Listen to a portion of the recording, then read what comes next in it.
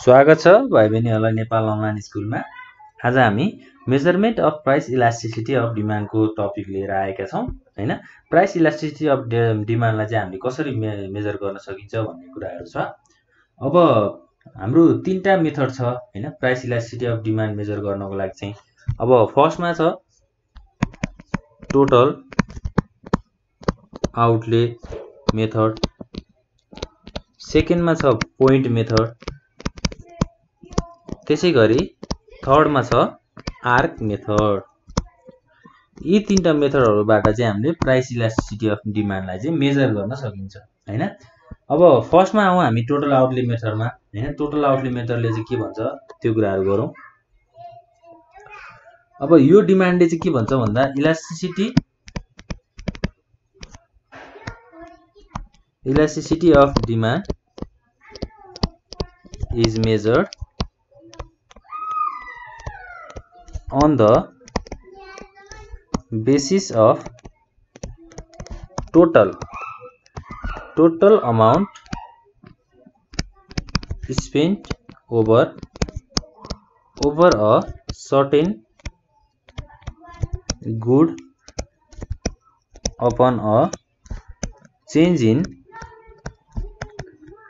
market price होइन? Market price अनुसार चाहिँ सामानहरू सामानहरू चेन्ज हुँदै गयो त्यसको मूल्य चेन्ज हुँदै गयो भने अब खर्च कति भयो त होइन? टोटल एक्सपेन्डिचर कति भयो त्यो कुराहरूलाई मेजर गर्ने प्रोसेसलाई चाहिँ हामीले टोटल आउटले मेथड भनेर भन्दो रहेछौँ होइन? जस्तै अब प्राइस इलास्टिसिटी चाहिँ कसरी मेजर गरिन्छ भन्दा by comparing total expenditure made by consumer होइन? कन्ज्युमरले गरेको टोटल खर्चलाई मेजर गर्ने आफ्टर चेन्ज इन प्राइस होइन? कुनै पनि सामानको मूल्यहरू चेन्ज भइसकेपछि कन्ज्युमरले गर्ने टोटल खर्च मेजर गर्ने प्रोसेसलाई चाहिँ हामीले टोटल आउटली मेथड भनेर भन्दो रहेछौँ। जस्तै अब टोटल आउटली मेथड निकाल्ने फर्मुला पनि छ होइन? Total outlay method is equal to price into quantity. Price र क्वान्टिटी प्राइस कति छ र क्वान्टिटी कति छ त्यो कुराहरूलाई मल्टिप्लाई गऱ्यो भने के आउँदो रहेछ त? टोटल आउटले चाहिँ आउँदो रहेछ। जस्तै अब एउटा फर्निचर सामान छ होइन? त्यो फर्निचर सामानको चाहिँ दस हजार रुपियाँ पर्छ भने अब फर्निचर कति केजीको हो? अथवा फर्निचरमा के के सामानहरू इन्ट्री भएको छ? होइन? कतिवटा फर्निचर लिने हो? जस्तै अब एउटा चेयरलाई पाँच सय रुपियाँ पर्छ ल मानौँ होइन? यो दस हजारको कुरा छोडिदिउँ। एउटा चेयरलाई पाँच सय रुपियाँ पर्छ भने त्यो चेयरलाई हामीले क्वान्टिटी चाहिँ त्यसको दसवटा दसवटा चेयर चाहिँ हामीले किन्यौँ होइन?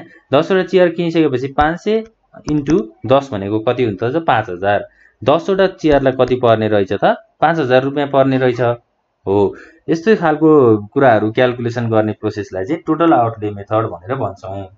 अब टोटल आउटले मेथडको पनि तिनवटा टाइप्सहरू छ है। तिनवटा टाइप्सहरू हामीले हेर्नुपर्ने हुन्छ जस्तै price elasticity of demand greater than unity greater than unity तिनवटा टाइप्सहरू छ हाम्रो। अर्को सेकेन्डमा छ। Price elasticity of demand of demand equal to unity. अब फर्स्टमा हामीले यसलाई के गर्न सक्छौँ त EP greater than one EP is equal to one र थर्डमा price elasticity of demand less than unity less than unity भनेको इपी लेस देन वानै भयो होइन? प्राइस इलास्टिसिटी वानभन्दा लेस भयो भने चाहिँ लेस देन युनिटी भनिँदो रहेछ। त्यसपछि प्राइ प्राइस इलास्टिसिटी चाहिँ वानसँग इक्वल भयो भने त्यसलाई इक्वल भनिँदो रहेछ र ग्रेटर भयो वानभन्दा बढी भयो भने चाहिँ त्यसलाई ग्रेटर भनिँदो रहेछ। अब फर्स्टमा जाउँ आई नम्बरमा ग्रेटर देन युनिटीको कुरा गरौँ होइन?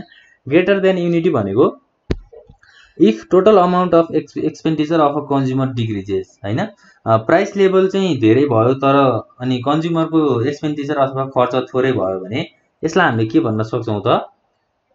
हाम्रो greater than unity demand greater than unity भनेर भन्न सक्छौँ होइन? जस्तै प्राइस र एक्सपेन्डिचर होइन? मूल्य र खर्चको चाहिँ एउटा इन्भर्स रिलेसनसिप भयो भने यस्तो खालको प्रोसेसलाई हामीले डिमान्ड ग्रेटर देन युनिटी भनेर भन्न सक्छौँ।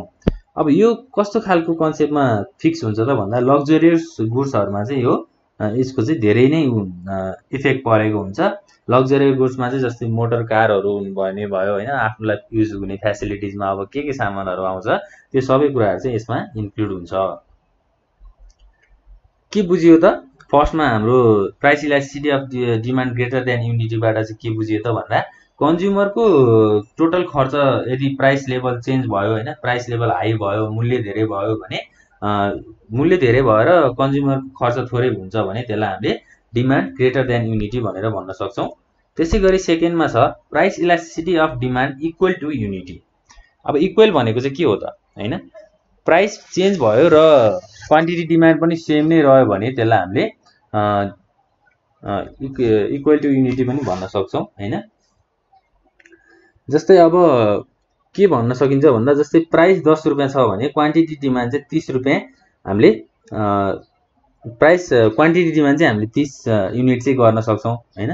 डेफिनेसनबाट भन्दाखेरि चाहिँ सेकेन्ड नम्बरमा डेफिनेसनबाट भन्दाखेरि चाहिँ if total amount of expenditure made by consumer remains constant होइन? प्राइसमा चेन्ज आएर प्राइस प्राइसमा चाहिँ चेन्ज आइराख्यो तर कन्ज्युमरले चाहिँ आफ्नो खर्चलाई चाहिँ कन्सटेन्टै राखिराखे होइन? खर्चमा चाहिँ कुनै पनि चेन्ज आएन। खर्च थोरै पनि भएन खर्च धेरै पनि भएन भने यस्तो खालको प्रोसेसलाई चाहिँ हामीले elasticity of demand equal to unity भनेर डिफाइन गर्न सक्छौँ। है त? ल। अब यसलाई हामीले टेबलबाट रिप्रेजेन्ट गर्दा चाहिँ के गर्न सक्छौँ भन्दा जस्तै price quantity demand total expenditure र इलास्टिसिटी जस्तै प्राइस दस रुपियाँ छ र क्वान्टिटी डिमान्ड चाहिँ तिस केजी भएको छ होइन? यसलाई चाहिँ केजीमा ल्याउँ तिस केजी भएको छ भने टोटल एक्सपेन्डिचर कति भयो त थ्री हन्ड्रेड भयो। थ्री हन्ड्रेड भयो होइन? जस्तै यहाँ प्राइस चाहिँ हाम्रो पर केजी भयो। एक केजीको दस रुपियाँ पर्छ भने तिस केजीको कति पर्ने भयो? तिन सय रुपियाँ पर्ने भयो। त्यसै गरी प्राइस चेन्ज भयो अब। प्राइस दस रुपियाँबाट पाँच रुपियाँमा घट्यो तर क्वान्टिटी डिमान्ड चाहिँ साठी भयो होइन? बढ्यो। क्वान्टिटी डिमान्ड बढ्यो। तर हाम्रो टोटल एक्सपेन्डिचर खर्च त कति नै हुन्छ त? फाइभ सिक्स थर्टी होइन? थ्री हन्ड्रेड रुपियाँ चाहिँ हाम्रो फेरि एक्सपेन्डिचर चाहिँ उति नै भयो। खर्च उति नै भयो। क्वान्टिटीमा जति चेन्ज आए पनि मतलब भएन प्राइसमा जति चेन्ज आए पनि मतलब भएन तर टोटल खर्च चाहिँ हाम्रो सेम नै हुनु पर्यो होइन? यस्तो खालको प्रोसेसलाई चाहिँ हामीले elasticity of demand equal to unity भनेर डिफाइन गर्न सक्छौँ। ल त्यसै गरी थर्डमा जाउँ। थर्डमा के छ त? Elasticity of demand less than unity होइन? लेस देन युनिटी भनेको छ। अब यसलाई डिफिनेसन दिँदा चाहिँ के भन्न सकिन्छ भन्दा if total amount of expenditure of a consumer increases होइन? In increase in price level price level पनि इन्क्रिज भयो र कन्ज्युमरको खर्च पनि इन्क्रिज भयो भने त्यसलाई हामीले elasticity of demand less than unity भनेर भन्न सक्छौँ। अब प्राइस बढेर खर्च बढ्न पनि सक्यो प्राइस घटेर खर्च कम हुन पनि सक्यो होइन? ल। यसलाई पनि हामीले टेबलबाट रिप्रेजेन्ट गर्दा चाहिँ प्राइस भयो त्यसपछि quantity demand in KG total expenditure र इलास्टिसिटी। अब के भयो त भन्दा जस्तै प्राइस चाहिँ पाँच रुपियाँ हुँदाखेरि साठी केजी डिमान्ड भयो र खर्च कति आयो त तिन सय रुपियाँ आयो।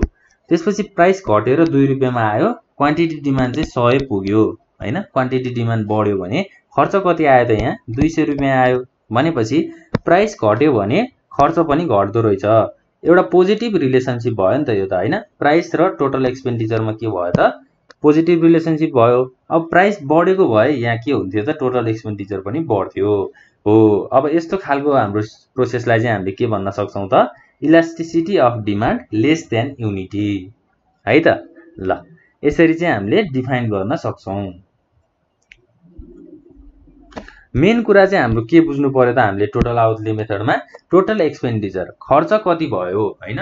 प्राइस चेन्ज भए पनि प्राइस घटे पनि बढे पनि खर्च कति भयो? टोटल एक्सपेन्डिचर चाहिँ हामीले थाहा पाउने प्रोसेसलाई टोटल आउटले मेथड भनेर भन्न सक्छौँ। है त? ल अब यो कुराहरू चाहिँ राम्रोसँग बुझ्नु होला होइन? यसलाई चाहिँ आफ्नो नोट बनाएर अब हजुरहरूले पढ्न सक्नुहुन्छ। कुनै पनि कन्फ्युजन भएमा चाहिँ हामीलाई कमेन्ट बक्समा कमेन्ट पनि गरिदिनु होला। ताकि हामी योभन्दा अझै राम्रोसँग यसलाई क्लियरिफाई अथवा क्लियर गर्न सक्छौँ होइन? सो प्रयास प्रयासहरू हामी गर्न सक्छौँ। यति भन्दै अब आजको क्लासलाई यहीँ इन गरौँ होइन? अर्को क्लासमा चाहिँ हामी पोइन्ट मेथडको कुराहरू गर्छौँ। पोइन्ट मेथडमा चाहिँ अब कस्तो खालको कुराहरू आउँछ त्यो कुराहरू हामी राम्रोसँग डिस्कस गर्छौँ। यति भन्दै आज यहीँ इन हुन्छ थ्याङ्क यू